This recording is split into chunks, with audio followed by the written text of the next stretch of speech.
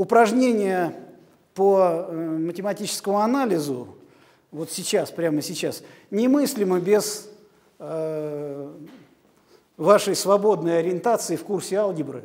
Потому что когда вы начнете интегрировать, э, вы должны свободно уметь раскладывать на простейшие дроби, скажем. Вот. То есть это обязательно. Значит, э, э, дальше. Вот сейчас у вас начался курс геометрии, вот прям значит, передо мной он был. А, значит, вот мы с лектором очень много согласовывали курсы.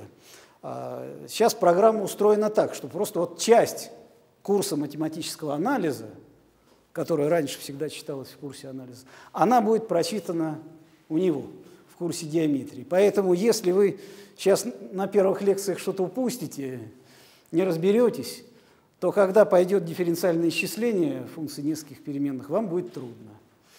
А, вот. И на экзамене, соответственно, тоже а, значит, когда будут возникать вопросы, конечно, вы должны уже, э, готовясь к курсу математического анализа, знать и курс геометрии, ну, в каком-то объеме. Вот. Значит, курс линейной алгебры, тоже он является базовым для математического анализа. Вот, дело в том, что дифференциальное исчисление нескольких переменных – а, значит, оно, как и в случае э, дифференциального вычисления функции одной переменной, будет опираться на очень простые функции n переменных. Ну, вот в частности, если дифференциальное исчисление э, сравнивало сложные функции с линейными и квадратичными функциями, ну, то есть с прямой и параболой, ну, которые вы изучали в школе, то сейчас анализ будет сравнивать с линейными и квадратичными функциями в РН. А линейные и квадратичные функции в РН – это линейная алгебра. Вот. Соответственно, чтобы вам успешно сравнивать сложные объекты с простыми, вы должны хорошо освоить простые объекты. Вот. Так что, значит, я, соответственно, вас призываю вот для успешного освоения курса анализа Э, очень внимательно отнестись вот как минимум к двум курсам геометрии и линейной алгебры, которые у вас э, параллельно читаются в этом семестре. Я постараюсь э, сделать так, чтобы э, те понятия, которые возникают у меня более сложные, возникали позже, э, чем простые понятия, которые возникают там, по возможности, конечно, по возможности. Вот.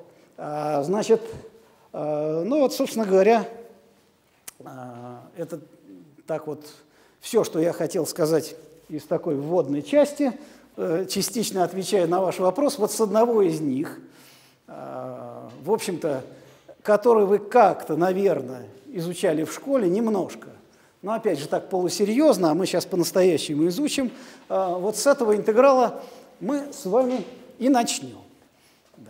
Ну вот, собственно говоря, какая здесь стоит физическая задача. Да? Вот есть некая прямая, и материальная точка так вдоль нее движется. Ну, вот отсюда начали, потом вверх, потом, может быть, вниз, ну и так далее. Вот какое-то движение. Естественно, как оно изображается в системе координат x, y. Да? Ну, вот это ось времени, это координата, ну вот получается некая функция – мы это все прекрасно с вами знаем. Вот. И, соответственно, если есть закон движения, если есть закон движения, то мы легко с вами э, можем определить скорость в каждый момент времени, ну, посчитать производно. Вот. А вот теперь возникает обратная задача. Обратная задача. Значит, по скорости, по скорости определить закон движения, ну или хотя бы определить э, примерно или точно, где окажется материальная точка в нужный момент времени. Ну, вообще задача э, не столь абстрактна, как вам кажется. Вот, например, в жизни многие из вас интегрируют. интегрируют. Ну вот, например, вот вы переходите дорогу, особенно если в неположенном месте. и вот едет машина, вот, то ваши зрительные рецепторы воспринимают скорость движения машины, и вы определяете, а успеете ли вы перебежать или не успеете. Да, то есть вы восстанавливаете траекторию ее движения, видя скорость. Вот. Так что, ну, конечно, это задача очень важная и нужная, она везде встречается. И вот э, э, эту задачу, для решения этой задачи предназначен интеграл Ньютона. Интеграл Ньютона. Вот давайте мы с вами э, его и определим. Ну, я могу картиночку стереть, она уже не нужна. Итак, определение. определение. Функция f называется интегрируемый в смысле Ньютона, ну вот я букву n поставлю, на отрезке АБ. Если существует функция f большое, другое название у нее более привычное вам, первообразное, существует функция f большое, а, значит, дифференцируемо, дифференцируемо всюду на отрезке АБ. Ну, естественно, на концах имеет э, смысл говорить о, об односторонней производной, ну, хотя это не очень принципиально, мы в дальнейшем поймем. Вот. Значит, вот дифференцируемо на отрезке АБ. Вот. Такая, что f' от x равно f малое от x всюду на АБ. Значит, в каждой точке. Всюду должно выполняться вот такое равенство. Да, вот нашлась такая функция, точная производная, которая вот, равна f малое от x. Но это означает, смотрите, значит, f от x – это чья-то скорость. Чья конкретно? Конкретно функции f большое от x. Значит, ну вот функция f большое от x в этом случае называется неопределенный, неопределенный интеграл Ньютона. Ньютона. Ну, в скобочках первообразная.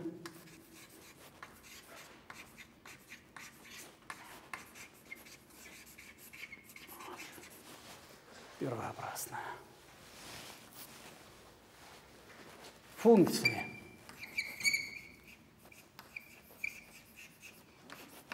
f малое от x на отрезке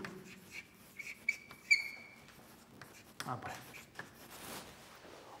Функция f от x есть неопределенный интеграл Ньютона на отрезке АБ.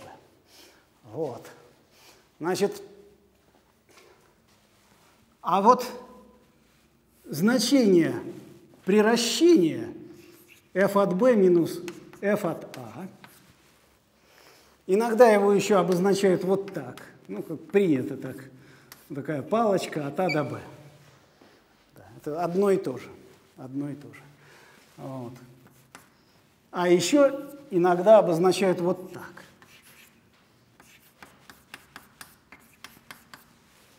Вот. Иногда здесь вот еще, чтобы подчеркнуть, о каком интеграле речь, ставят буковку n. Иногда не ставят. Давайте я напишу. Когда ясно, о каком интеграле идет речь, то ничего не ставят, просто пишут интеграл. Зачем такое странное обозначение, вот тот интеграл, тут какой-то dx, я чуть позже поясню. Ну вот это вот все одно и то же. Вот все, что написано, это все одно и то же. И эта величина называется определенным определенном.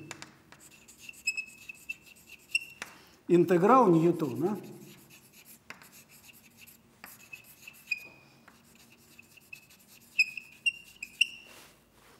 по, ну, функции f от x по отрезку АБ. Ну и физически это понятно, что означает. Если у вас f от x закон движения, то приращение функции f большой от x – это просто есть перемещение за время от а до b. То есть вот в том примере про машину, которую я вам рассказывал, конечно, вы считаете определенный интеграл. Вам важно не э, как именно будет ехать машина, а вот именно вот за то время, пока вы будете переходить, успеет она доехать или не успеет. А вот, то есть вам нужно, собственно, сама, само это приращение. Вот. Ну и вообще часто в задачах, часто в задачах э, нужен именно определенный интеграл, и это иногда побуждает нас решать задачу вот непосредственно поиска определенного интеграла, минуя промежуточную. Понятно, что если вы знаете неопределенный интеграл, то определенный интеграл найти очень легко. Вот. А, значит, ну вот такое понятие, оно вам, конечно, знакомо. Э, ну а сейчас давайте разберемся а, с этим понятием более предметно. А, вот. И заодно обсудим, а что вообще нужно от интеграла любого, какие свойства желательно, чтобы были. Ну, конечно же, а, самое первое и главное – это единственность. Да, если интегралов будет слишком много, то ничего хорошего в этом не будет. Вот. Значит, и вот следующая главная теорема. Вот она состоит в следующем, что в определенном смысле интеграл Ньютона единственный. Сейчас я напишу, в каком смысле. Значит, теорема. Пусть f интегрируемо в смысле Ньютона. Так интегрируемость есть. Вот. И f1 и f2 неопределенные интегралы. Неопределенные интегралы.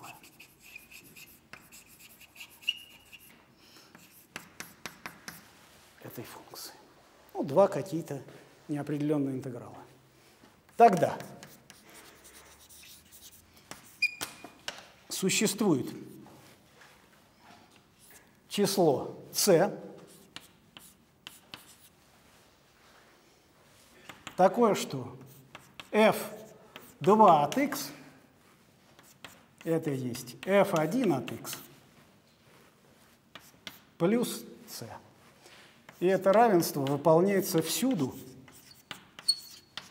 на отрезке АБ. То есть вот оказывается, Единственность понимается вот в таком смысле. Все неопределенные интегралы получаются друг из друга параллельным переносом. Да, то есть визуально закон движения один и тот же, только все зависит от того, на какой высоте мы находимся. Конечно, это не означает полную единственность. Но вот так, как я сказал, в определенном смысле жесткость есть. И она нас устроит. Об этом чуть позже. Вот. Ну, давайте я для начала докажу стандартно. Это доказательство не вполне конструктивное, оно не открывает всех пружин, в чем тут дело. Но попозже я теорему немножко по-другому докажу и более общей формулировки. Да, значит, доказательство. Доказательство. Да. Значит, ну, рассмотрим функцию φ от x равную f2 от x минус f1 от x. Эта функция, ясное дело, дифференцируема на отрезке АБ. Почему дифференцируем? Ну, потому что по определению f1 и f2 дифференцируемы на отрезке АБ, значит, их разность тоже дифференцируема на отрезке АБ. Вот. Более того, ее производная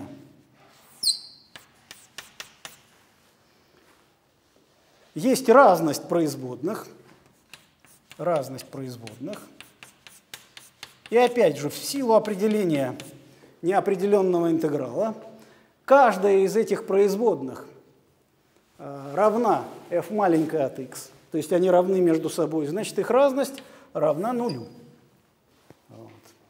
Значит, что же мы получили? Функция φ от x дифференцируемая и производная всюду 0. Всюду 0. То есть скорость везде 0, не растем.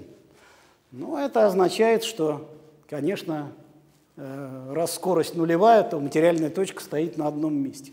Ну, давайте это формально проверим. Значит, смотрите, функция φ от x удовлетворяет всем условиям теоремы Лагранжа. Вот. Давайте возьмем произвольную точку x0 из отрезка АБ, вот вообще любую, но фиксированную. Вот. А вторую точку x ну, начнем гонять по всему отрезку. Да?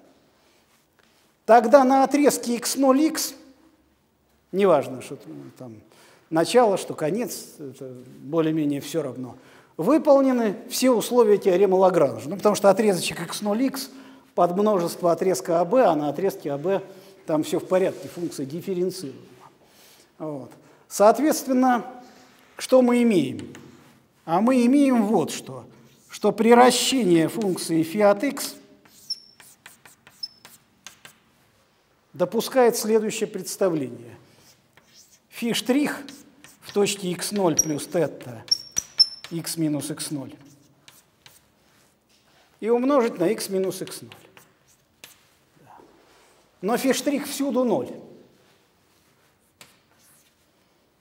Поэтому это приращение равно нулю, но значит, да, следовательно,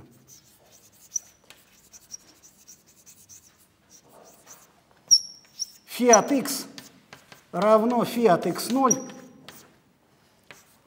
для любого x из отрезка АП. Ну, все.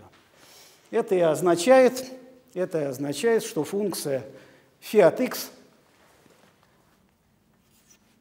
является постоянной.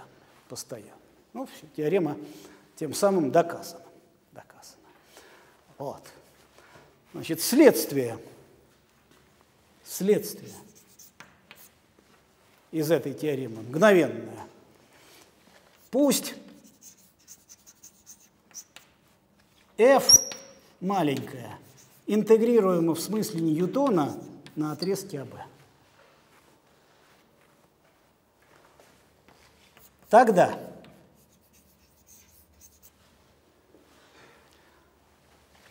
интеграл определенный Ньютона по отрезку АБ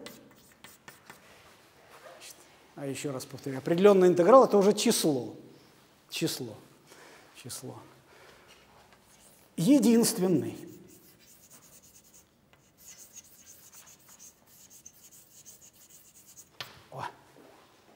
Вот тут уже настоящая единственность. Значит, это число уже определено совершенно однозначно. Ну, доказательство. Давайте посмотрим. Значит, возьмем просто по определению два неопределенных интеграла и вычислим приращение. Ну вот смотрите. Пусть f2 от x это есть f1 от x плюс константа. Ну тогда f2 от b минус f1 от f2 от a, конечно же, равно f1 от b плюс константа минус f1 от a плюс константа и, конечно же, равно f1 от b минус f1 от a. Да. То есть, неважно, какую из первообразных мы возьмем, вот, и определенный интеграл порождаемый этой первообразной, он всегда будет один и тот же. Всегда будет один и тот же. Вот. Этим объясняется наше удовлетворение от единственности в определенном смысле вот здесь.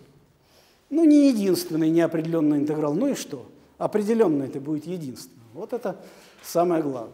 Итак, объект, который мы с вами определили, он единственный.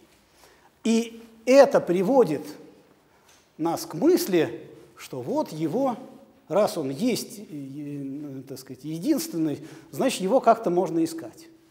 А вот, значит, вот. Как уже искать это, вы вот на упражнениях этим займетесь. Я немножечко вам расскажу о тех трудностях, которые ждут вас в процессе его вычисления.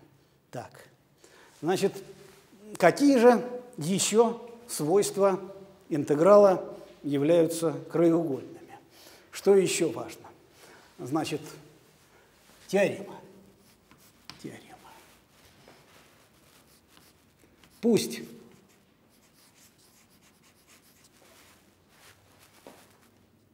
функции f и g, f и g интегрируемы в смысле Ньютона на отрезке АБ. Лямбда и мю – действительные числа. Тогда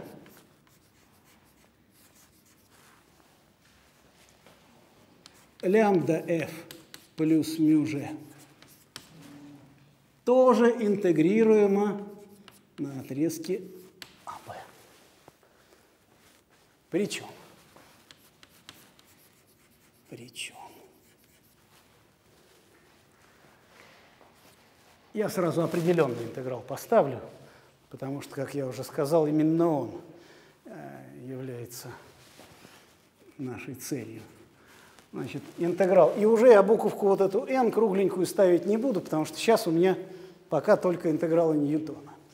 Интеграл от А до Б. Лямбда f плюс мю g dx равен лямбда интеграл от А до Б f от x dx и плюс мю интеграл от А до Б g от x dx. Вот. Это свойство называется линейностью. То есть вот тем самым, значит, иначе говоря,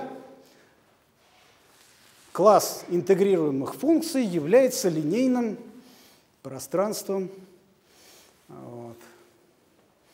Значит, и это, кстати, одно из важнейших свойств, может быть, самое важное для практической реализации. То есть когда вы считаете интегралы, вот, несмотря на всю простоту этой теоремы, именно она является главным инструментом интегрирования э, функций. Да. Ну, доказательства. Доказательства, конечно, тут несложно. Ну, что значит?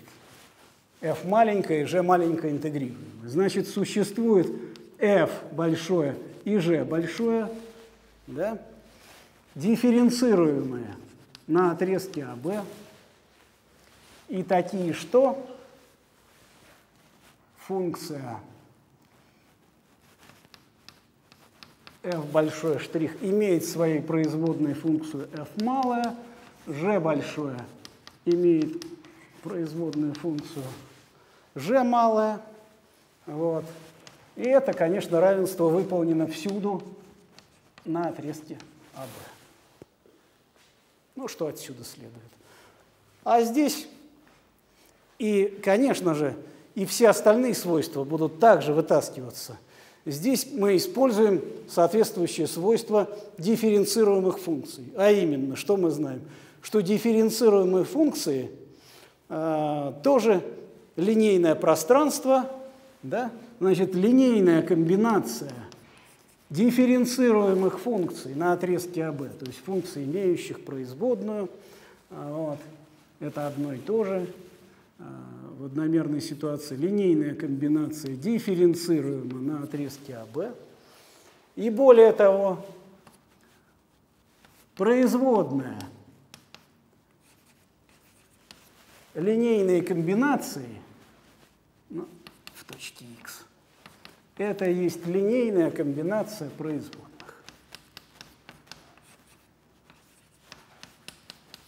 Ну, а это и есть лямбда f малая плюс мю g в точке x. В точке x. Вот так. Вот и все. Значит, линейная комбинация есть неопределенный интеграл, ну а как следствие и определенный интеграл равен тому, что надо. Вот такое простое, но очень важное свойство. Значит, любой интеграл, с которым бы вы не столкнулись в дальнейшем, обязательно этим свойством должен обладать. Обязательно. Значит, и еще одно очень важное свойство. Оно называется аддитивностью интеграла. Сейчас я объясню, тут тоже некие суммы. Да, значит, итак, теорема. Пусть функция f от x интегрируема на отрезке АБ.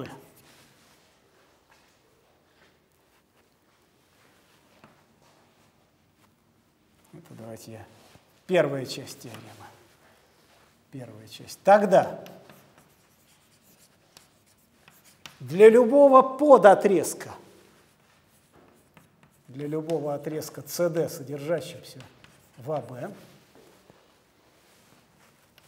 функция f интегрируема и по этому отрезку. Вот так. Итак, функция f, интегрируемая по большому отрезку, интегрируема по каждому подотрезку. Вторая часть теоремы. Пусть f интегрируемо на отрезочке АС и на отрезочке CB. С – произвольная точка интервала АБ. Пересечение. И. И тут интегрируемо, и здесь интегрируемо, и там, и там. Тогда функция f интегрируема на всем отрезочке АБ. На всем отрезочке АБ, причем, вот, причем, значит, интеграл от А до Б f от x dx равен интегралу от а до с f от x dx и плюс интеграл от c до b f от x dx. Вот так вот. Да. Ну, то есть, еще раз, вспоминаю, что интеграл это есть перемещение за время от а до b, смысл этой теоремы понятен. Чтобы переместиться от точ из точки за время от А до Б, ну, надо взять перемещение за время от А до С и к нему прибавить перемещение за время от С до Б. То есть вполне естественная а, теорема. Вот. И я еще раз повторю, вот это совокупность вот этих двух свойств, которые состоят в чем? Что интегрируемость на большом куске предполагает интегрируемость на, мали, на более мелком, интегрируемость на более мелких, которые в сумме дают весь отрезок, влечет интегрируемость по всему отрезку, и справедливо вот такое равенство. Вот. Интеграл равен сумме интегралов. Вот. Это всегда. Для любых интегралов такое свойство должно выполняться. Значит, ну давайте докажем, ну, первое свойство очевидно. Да, давайте, смотрите. Существует f большое, дифференцируемое на отрезке АБ, и такая, что f' от x равно f от x для всех x, принадлежащих отрезку АБ. Но в частности,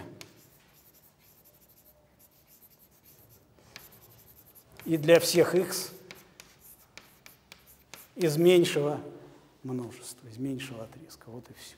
То есть функция f большое от x, конечно же, дифференцируема и на отрезке cd, и справедливо такое равенство. Значит, второе, тоже все очень просто здесь. Смотрите, а, что у нас есть? Функция интегрируема на левой и правой половинки. Да? Значит, что это означает? Существует f большое, f большое, вот, значит, э, такое, что она э, дифференцируема на отрезке АС и дифференцируема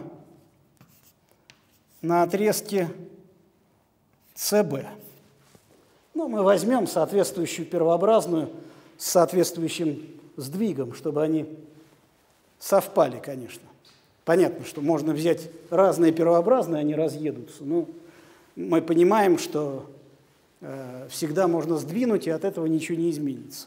Но, соответственно, если у нас есть у функции левая производная в точке С, значит, э, и это есть настоящая производная правая, они совпадают. Значит, отсюда следует функция f большое – дифференцируемо и на всем отрезочке АБ. На всем отрезочке АБ. Вот. Э, значит, э, далее.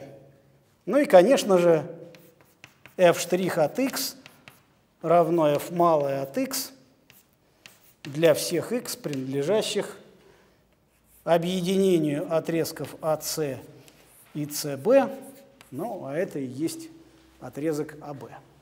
Вот.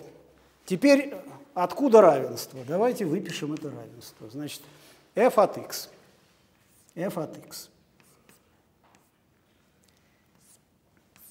На отрезке АБ. Вот такое приращение. Конечно же, есть приращение функции f от x на отрезке AC плюс приращение функции f от x на отрезке CB. Ну, просто Здесь f от c со знаком плюс, а тут f от c со знаком минус. Вот и все. Вот.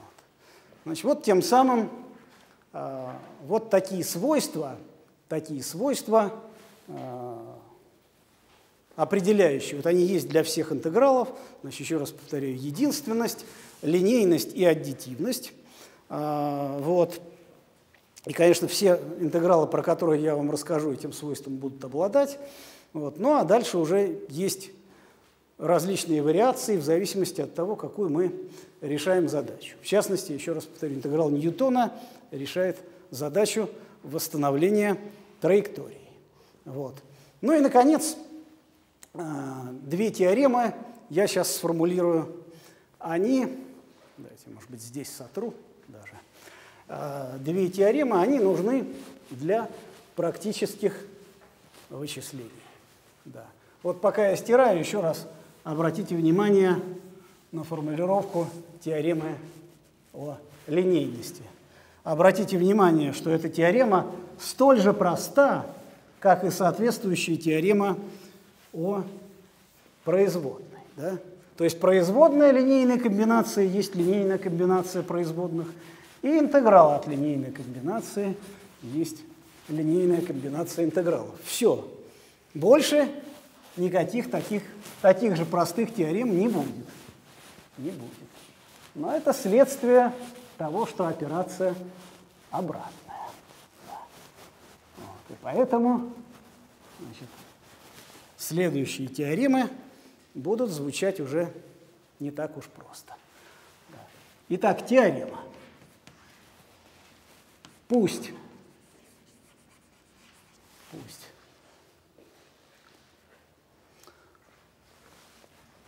функция f интегрируема по Ньютону на отрезке АБ.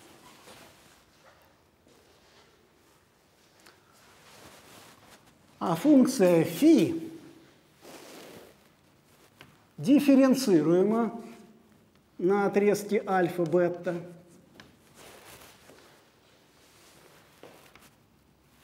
строго возрастает. Так, строго возрастает. Фи от альфа равно А, фи от бета равно b. Вот. Да, вот значит мы с вами вот такую функцию дифференцируем, строго возрастающая и на концах принимает соответствующие значения. Тогда функция f от φ от t умножить на φ штриха t, вот такой сложный агрегат, такое вот произведение, такое произведение, интегрируемо по Ньютону на отрезочке альфа-бета. И интеграл по отрезочку альфа-бета от этой функции, интеграл Ньютона, так, равен интегралу от а до b f от x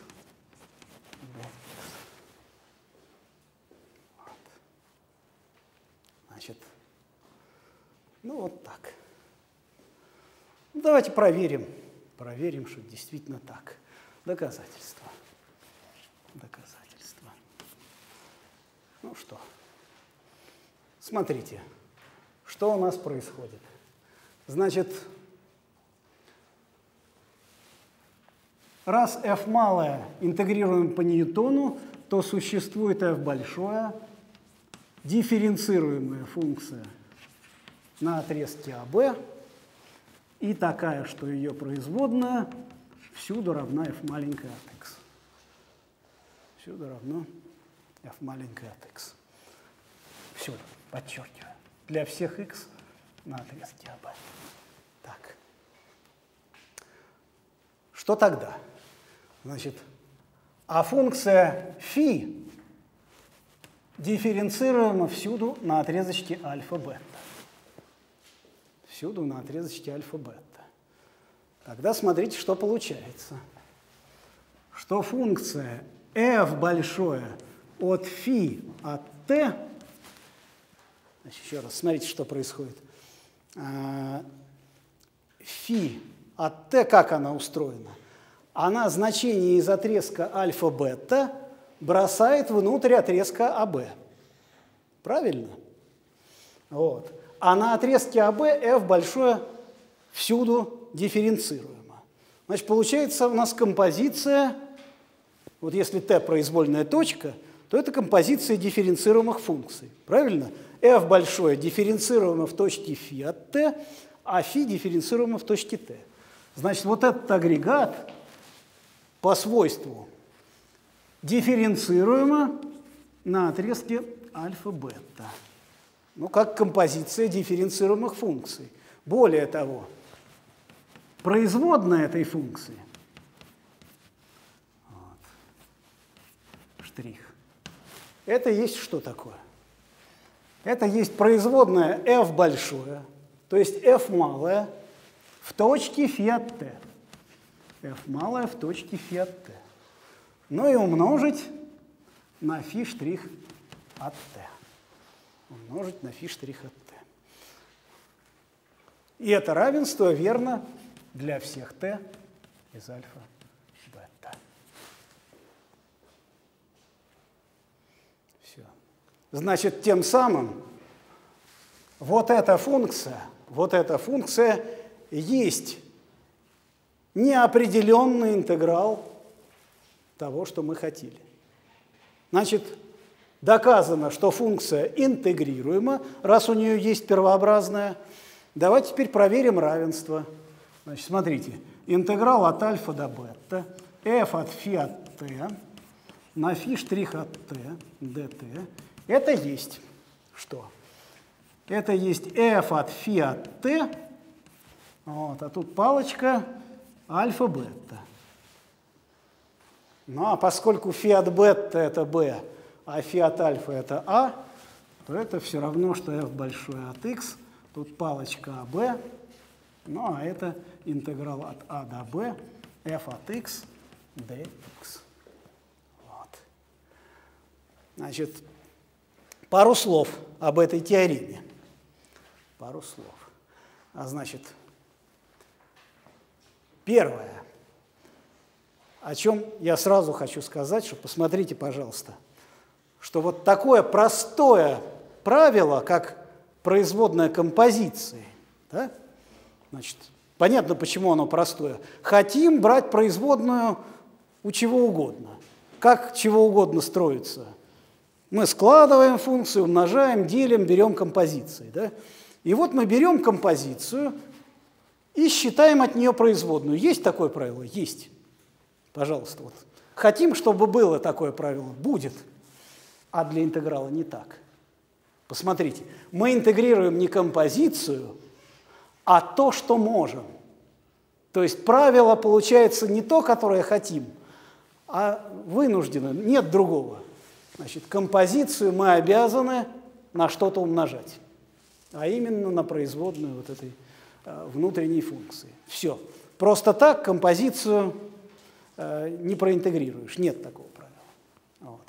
Это первое, что я хотел сказать. Второе. Э, именно эта теорема объясняет смысл вот этого определения и почему мы здесь интеграл вот так странно обозначили, помимо того, что вот э, загогулено вот это, еще и dx зачем-то. Ведь интегрируем мы функцию, а вот с практической точки зрения удобно интегрировать дифференциал. Посмотрите, пожалуйста, вот если мы посмотрим вот на это выражение как на дифференциал, да, то мы знаем, что дифференциал инвариантен относительно замен, правильно? Вот давайте теперь сюда подставим вместо x фиат t. Но только нельзя подставить фиат t просто сюда, видите, да? Вы проинтегрируете f от фиат t. Нет такой теоремы. А если вы x подставите и сюда, и сюда, то как раз d от фиат t это будет фи штрих от t на dt. Вот оно. Вот. Поэтому вот с практической точки зрения можно эту теорему переформулировать следующим образом, что интеграл от а до b от f от x до x не изменится, если даже вместо x подставить любую функцию. То есть неважно, x зависимая переменная или независимая, интеграл все равно будет иметь одно и то же значение. Вот такая другая формулировка э, теоремы о замене переменной. Ну и вторая теорема, и вторая теорема, тоже очень важная в приложениях, называется теорема интегрирования по частям. Ну, на практике вам э, лучше расскажут, почему она так называется, зачем это нужно. Вот. А теорема звучит следующим образом. Пусть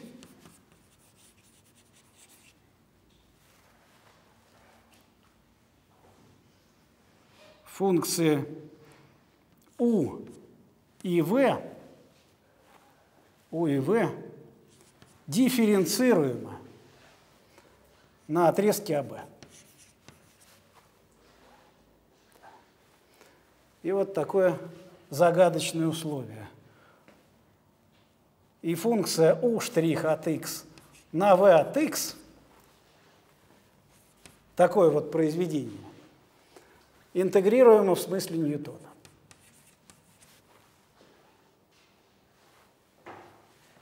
Тогда вот такое произведение v' штрих от x умножить на o от x интегрируемо в смысле Ньютона. Интегрируемо в смысле Ньютона. Вот. Причем интеграл от а до b v' штрих от x на u от x dx равен u от x на v от x палочка от а до b и минус интеграл от а до b u штрих от x v от x такая теорема, она является прямым обращением формулы производное произведение. Ну, давайте докажем. Доказательство. Доказательство. Значит, ну, смотрите. Что у нас дано?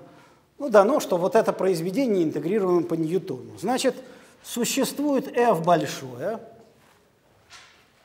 f большое, дифференцируемо на отрезке АБ, и такая что? f большое штрих от x равно u штрих от x на v от x.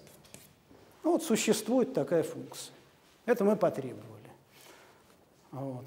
А давайте теперь посмотрим на функцию g от x, равную произведению и минус f большое от x. Так. Ну, посмотрите, пожалуйста. Эта функция, конечно же, дифференцируема на отрезке АБ. Почему? Потому что U и V дифференцируемы. Значит, произведение есть произведение дифференцируемых функций. Значит, вот эта слагаемая дифференцируемая функция в каждой точке отрезка АБ. F большое дифференцируемо тоже на отрезке, и как разность, все в порядке.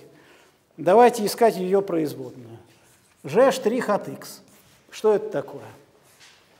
Это u' от x на v от x плюс v' от x на u от x и минус производная в большое, а производная в большое это u' от x на v от x. Ну, сокращаем и получаем требуемое.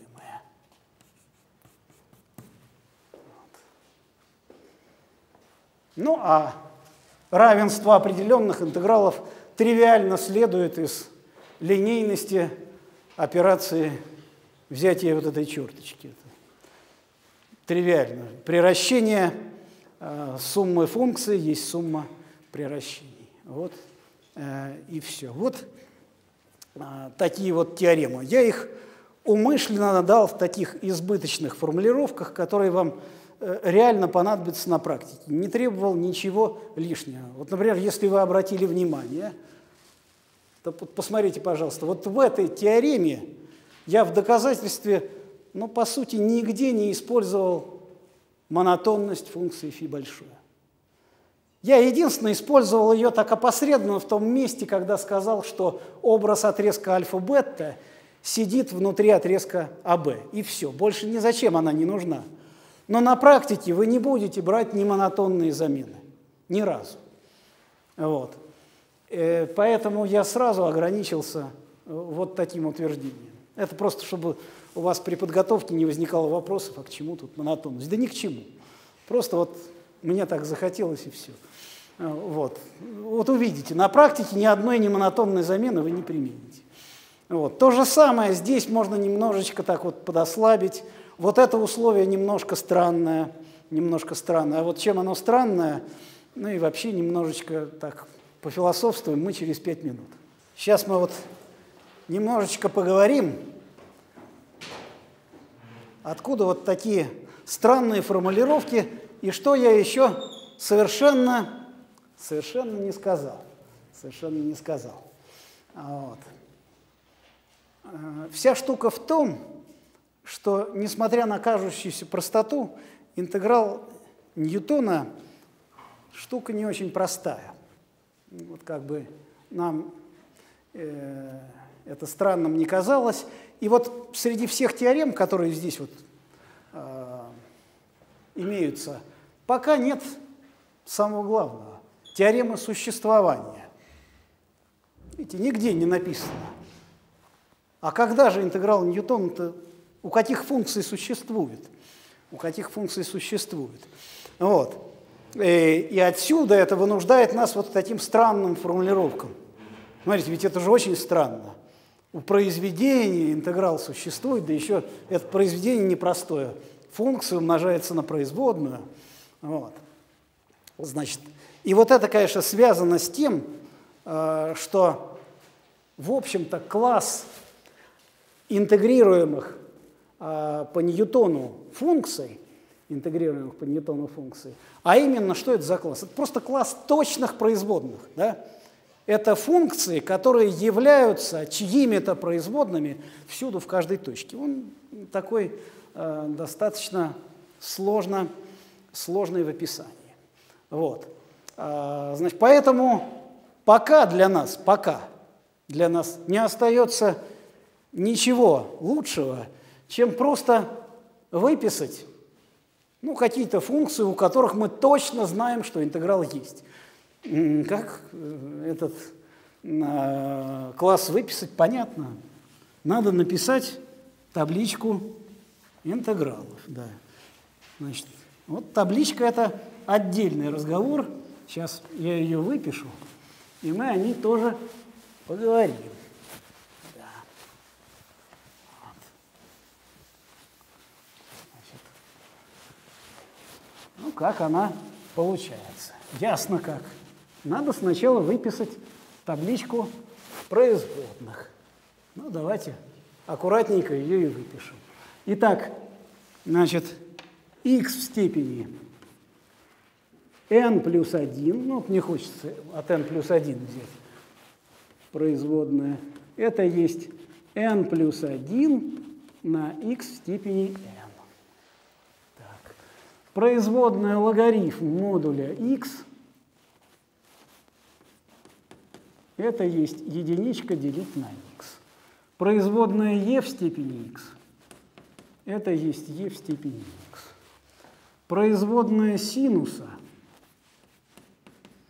это есть косинус производная косинуса минус синус, производная тангенса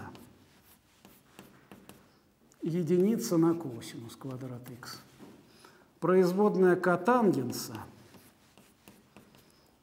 минус единица на синус квадрат х. Так, производная гиперболического синуса, гиперболический косинус – производная гиперболического косинуса – это есть гиперболический синус. Так.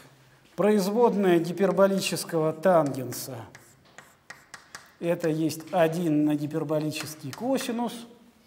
Производная гиперболического котангенса – это есть минус единица на гиперболический синус в квадрате – так, ну и что мы еще забыли?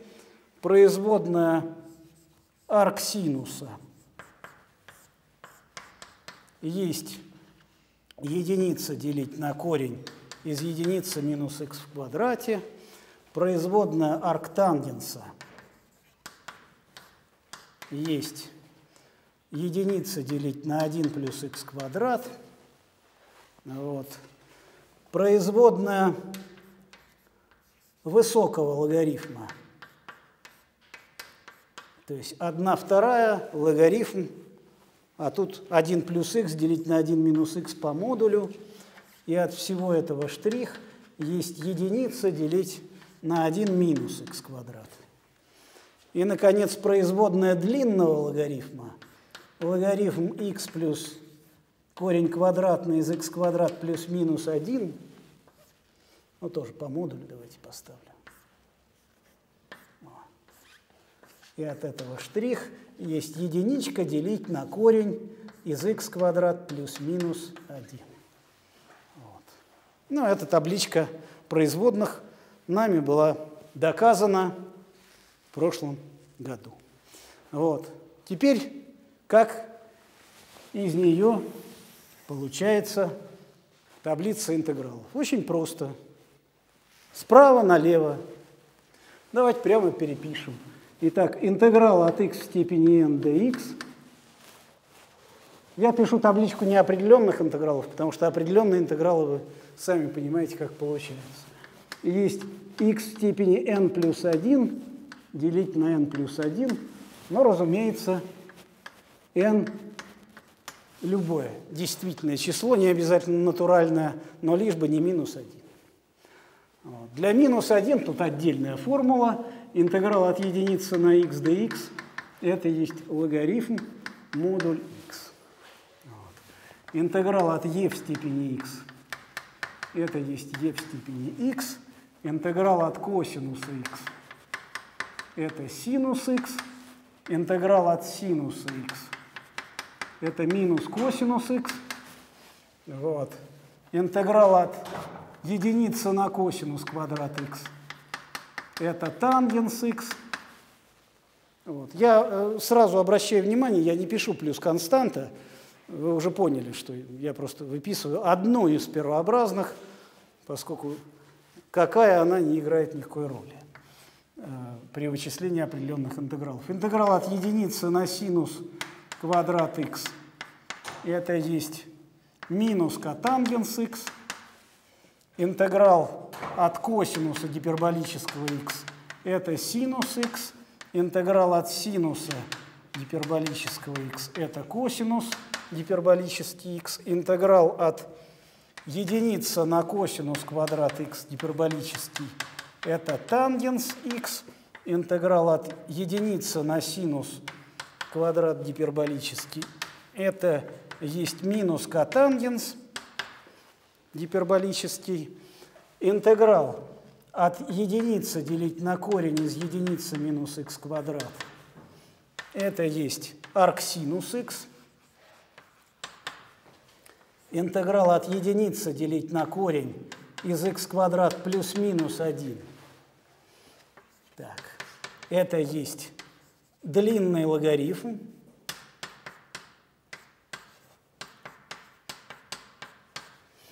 Вот. Интеграл от единицы делить на 1 минус х квадрат. Это есть высокий логарифм.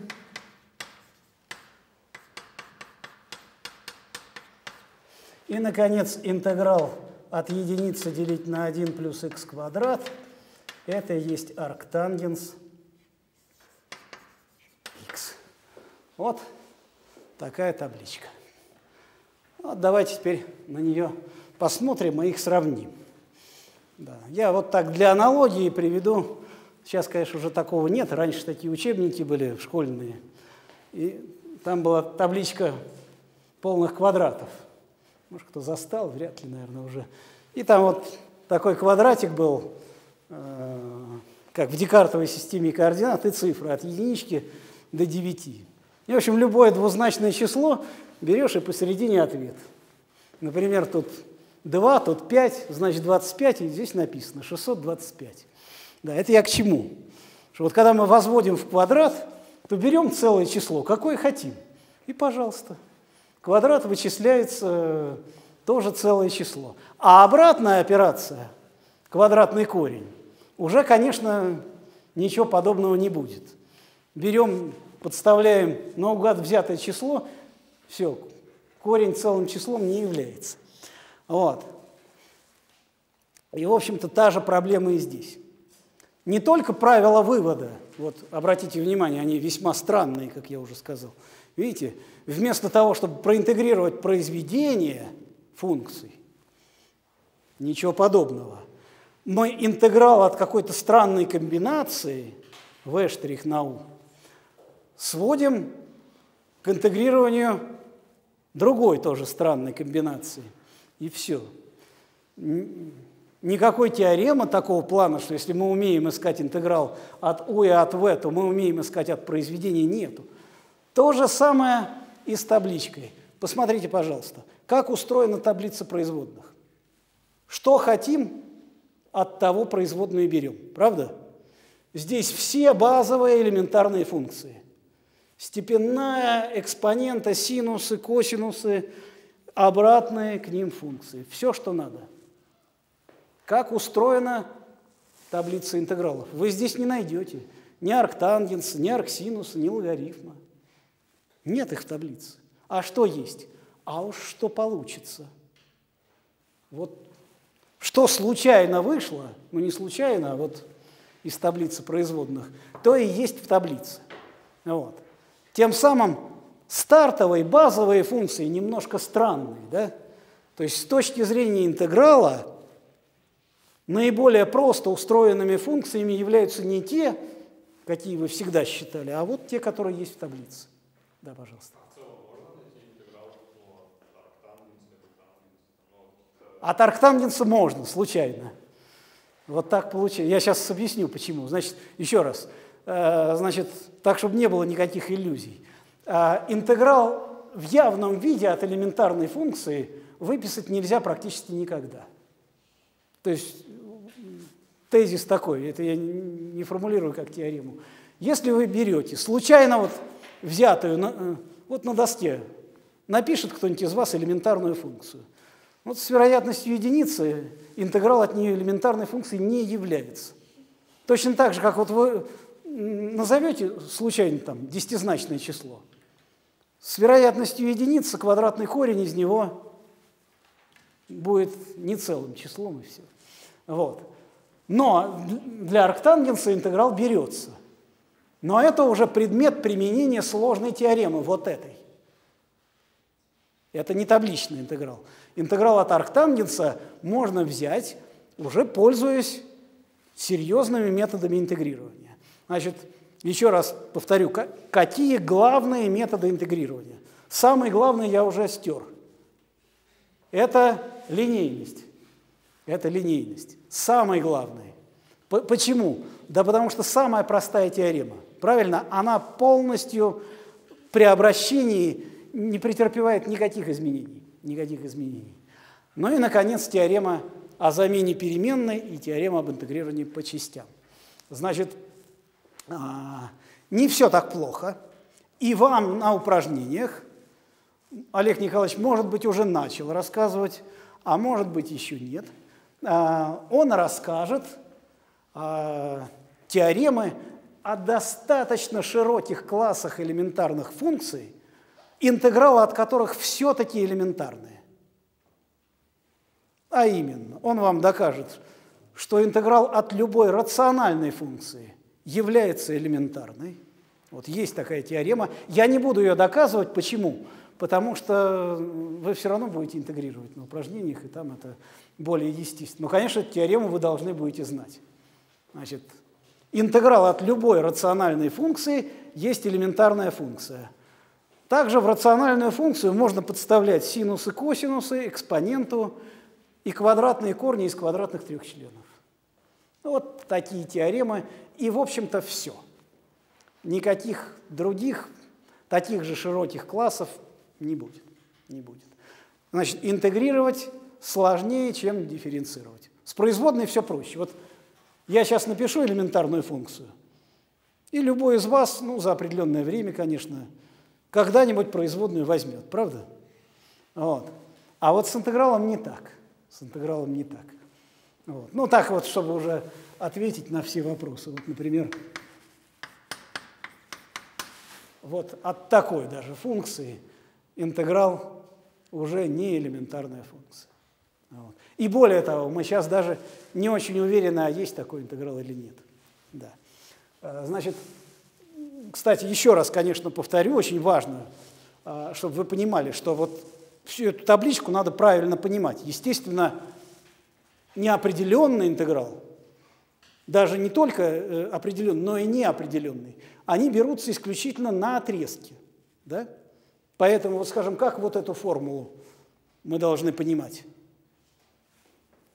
Значит, только на отрезке, не содержащем точку 0 потому что в точке 0 логарифм модуль x производной не имеет. Да? То есть, например, на отрезке там 1, 2 или минус 8, минус 5.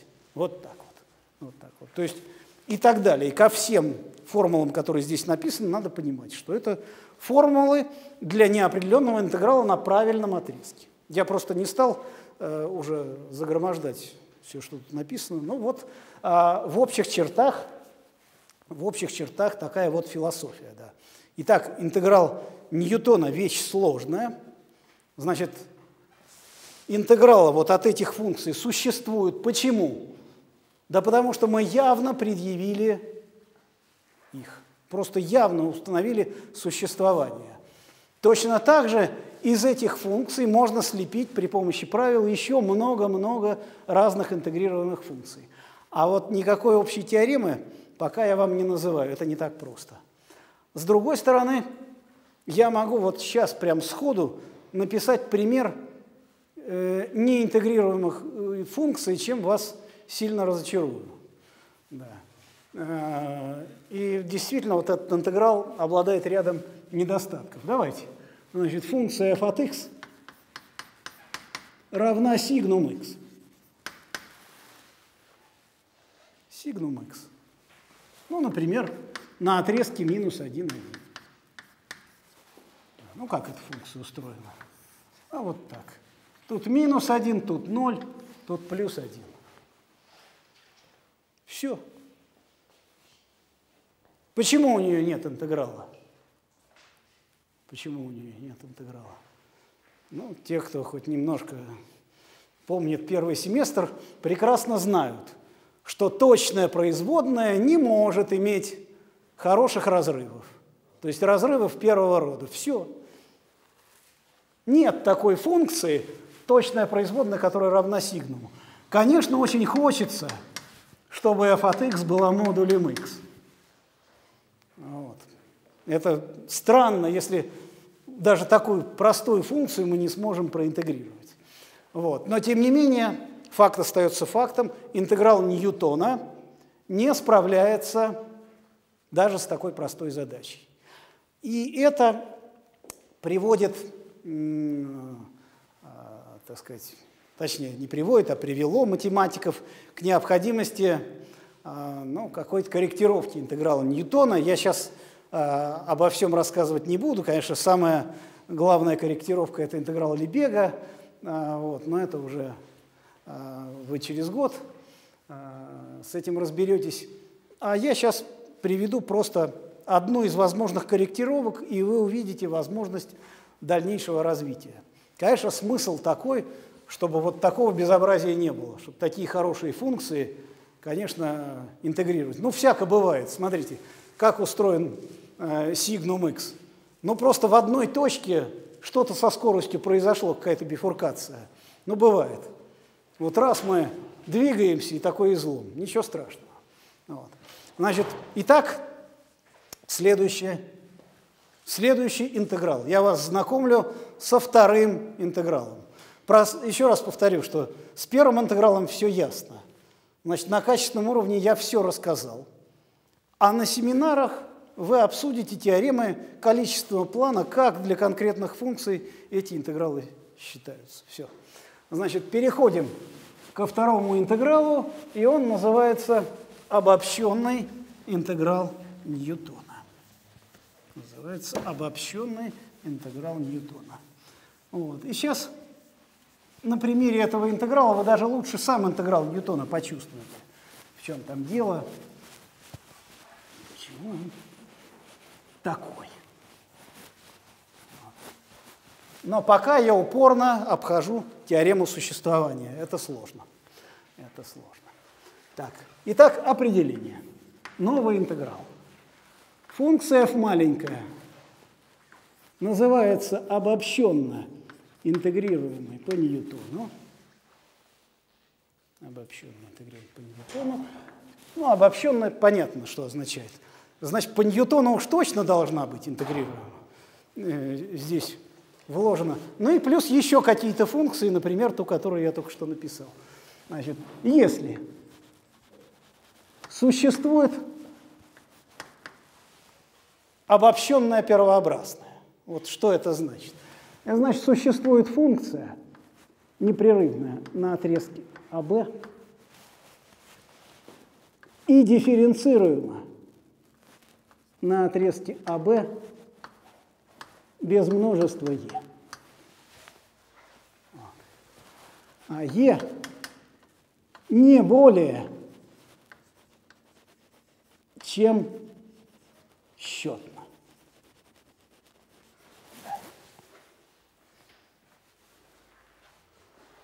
То есть функция непрерывна, обязательно в каждой точке, в каждой точке. Вот. Когда я говорил о дифференцируемости, непрерывность следовала. Следовала. Вот. А, значит, э, дифференцируемость предполагается э, всюду, за исключением исключительного множества. И это множество может быть пустым, тогда это обычный интеграл Ньютона, а может быть конечным либо счетным. Тогда это обобщенный интеграл Ньютона. Вот. И, естественно, f' от x равно f малому от x вот, а, для всех x из АБ без Е. Вот. Ну, формально может что произойти? Функция может иметь производную, но не совпадать с функцией f малая. Я для удобства это все собрал в одно множество. То есть на множестве e может произойти одно из двух. Либо производной нет вообще, либо она есть, но не та, что надо. Вот, вот и все. Э, пожалуйста, вот э, оба, обе эти неприятности могут случиться, но случиться не более чем счетное число раз. Вот. Все. Тогда функция f называется э, обобщенно интегрируем в смысле Ньютона. Соответственно, f большое – это обобщенное первообразное или обобщенный неопределенный интеграл Ньютона. Я напишу обобщенное первообразное. Первообразное. Вот. А f от b минус f от a – это есть определенный обобщенный интеграл Ньютона определенный обобщенный интеграл Ньютона. Определенный.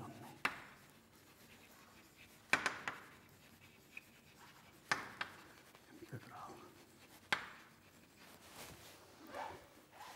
Вот и все. Вот. Ну и, конечно же, здесь имеет место все те же, так сказать, три кита, о которых мы с вами говорили. Единственность, линейность и аддитивность. Давайте по каждому из них пробежимся. Конечно, самое нетривиальное – это единственность. Зато сейчас вы увидите такое настоящее доказательство и поймете именно смысл происходящего. Почему? Что же происходит? Да. Итак, теорема. Теорема. Вот. Уже непростая, поэтому сосредоточьтесь. Значит, пусть f интегрируемо по Ньютону ну, в широком смысле. В широком смысле. F2, F1 обобщенные первообразные.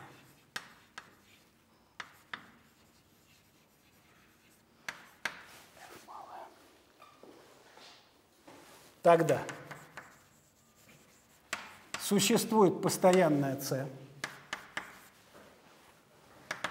что f2 от x равно f1 от x плюс c всюду. Видите, ничего не меняется. Даже если разрешить много точек недифференцированности. Ничего не меняется. Все. Значит, как мы уже с вами понимаем, это и есть единственность, отличие неопределенных интегралов на постоянную. На постоянную. Понятно, да, что если мы не знаем начальную точку движения, то по скорости нельзя восстановить закон движения. Вот. А зная начальную точку, все единственным образом восстановится. Так, доказательство. Доказательство.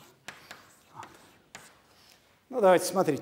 Первое первое. Конечно же, опять мы вводим функцию φ от x равно f2 от x минус f1 от x. И здесь я уже буду краток.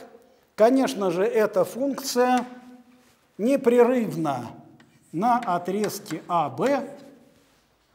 Почему? Потому что непрерывные функции есть линейное пространство разность непрерывных функций. Так, чуть сложнее, но я тоже проговорю, что будет иметь место дифференцируемость на отрезке, за исключением множества e, где e не более счетного. Не более чем счетно. Почему? Почему? Ну, давайте смотреть. Функция f2 от x дифференцирована всюду за исключением не более чем счетного множества e2. Функция f1 дифференцирована за исключением э, не более чем счетного множества e1. e2 и e1 могут быть разными и даже не пересекающимися. Ну и что? Их объединение все равно не более чем счетно. Все. А во всех точках за исключением их объединения, и та, и другая дифференци... Э, дифференцируемые. Все, значит, все в порядке. Все в порядке. Значит, функция φ от x дифференцируема ну, практически в каждой точке отрезка, за исключением какого-то небольшого множества. Но обратите внимание, что это множество может быть достаточно частым. Да, скажем, рациональные точки. Вот там может быть какая-нибудь неприятность. То есть их все-таки не так уж и мало может быть. Вот. Значит, так, что еще мы про нее знаем? И ее производная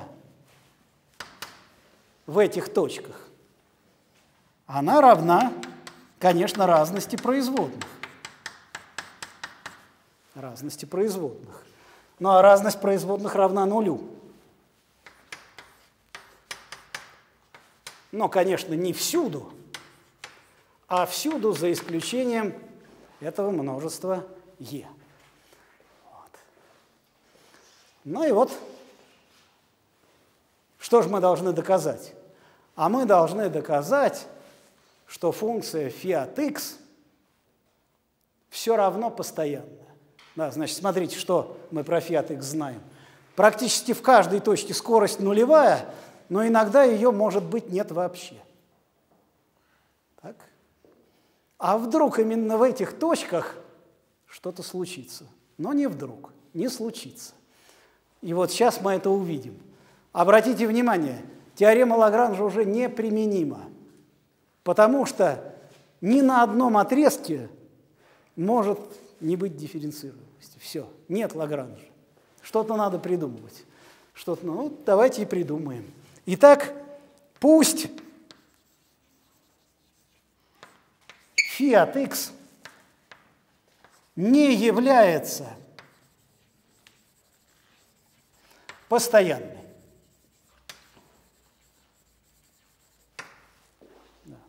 Ну, что значит она не является постоянной? Значит, существуют такие два числа альфа-бета на отрезке АБ –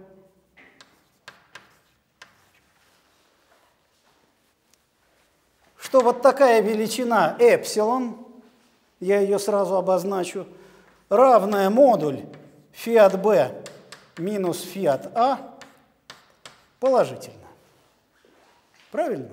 Это же означает, что функция непостоянная. Значит, есть различные значения на какой-то паре точек. Что значит различные? Значит, их разность по модулю положительна. Все. Вот обозначим эпсилон, зафиксируем. Вот.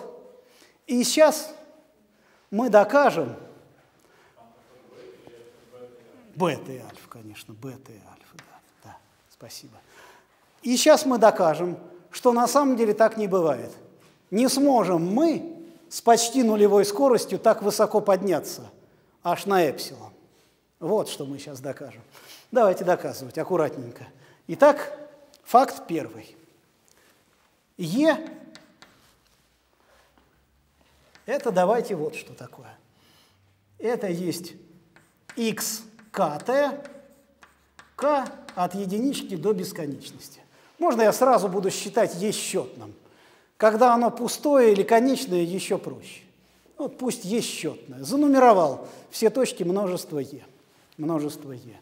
Значит, теперь смотрите, что мы имеем? Что мы имеем? f большое, f большое, непрерывно для любого k. Непрерывно в этой точке. Смотрите, производной там может не быть. Не f большой, извините, фи. Непрерывно в точке k. Нам этого хватит. Значит, для каждого эпсилон так, найдется дельта дельта. Я подчеркну, что эта дельта привязана к этому номеру k, к этой точке k. Дельта от xk положительная, правильно? Что для всех x из дельта окрестности этой точки значение функции φ отличается от значения в точке xk меньше, чем на эпсилон, деленное на 2 в степени k плюс 2.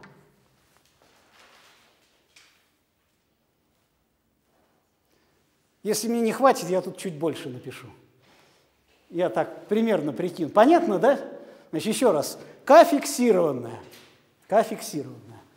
Значит, ясно, что я могу настолько близко приблизиться к точке непрерывности, чтобы отклонение функции рядышком от значения в точке было сколь угодно маленьким. Ну, маленьким вот величина этого маленького прыжочка, вот она там написана. Эпсилон делить на 2 в степени k плюс 2. Может быть, я чуть-чуть побольше поставлю. Да давайте сразу я с гарантией k плюс 4, чтобы уже там, если что, мы поправимся. Так, все. Это в точках непрерывности. Так. В точках непрерывности. Там все плохо, но зато точек мало. Теперь берем точки хорошие. Хорошие – это что значит? Это значит производная ноль. Производная ноль. Раз производная ноль, то подъем в этих точках может быть крайне маленький. Крайне маленький. Вот сейчас мы запишем. Что это значит? Значит, пишу фи дифференцируемо в этой точке x. Вот в этой точке x, конкретной точке x, функция дифференцируема. И еще и производная 0 производная 0. И фи штрих от x равно нулю. Да. Что это значит? А это значит, что существует дельта. Опять я это дельта привяжу к точке x. Можно, да? Прямо вот я так и напишу, что дельта от x. Дельта привязываю к точке x. Так? Какое дельта? Такое, что для всех t из дельта окрестности точки x, смотрите, какое неравенство выполняется. Модуль φ от t минус φ от x, так, делить на t минус x – Правильно? Что это такое? Это разностное отношение. Теперь я от него должен отнять производную, то есть ничего не отнять, потому что производная ноль. И вот это разностное отношение будет меньше, чем эпсилон делить на 2, давайте, на 4. На 4, нет, на 2 хватит. На 2 а, бета минус альфа. Ну, давайте по модулю бета минус альфа, чтобы не думать, кто из них больше. О, вот так. Правильно? Опять, я тут какое угодно маленькое число могу подставить, а потом после его выбора выбирать такой дельта. Вот, все, выбрал. Посмотрите, пожалуйста, что я сделал. Что я сделал. Ой, времени у нас уже так, слушайте, да, теорема важная. Давайте мы, может быть, на этом прервемся сегодня, а потом я, вот давайте еще раз зафиксируем, значит, что мы с вами сделали. Мы с вами э, сумели покрыть каждую точку отрезка, отрезка, чувствуете, к чему я клоню, каждую точку отрезка маленьким интервалом дельта с определенными свойствами. Ну а дальше, я думаю, вы догадаетесь. Ну вот тогда давайте в понедельник мы с вами продолжим.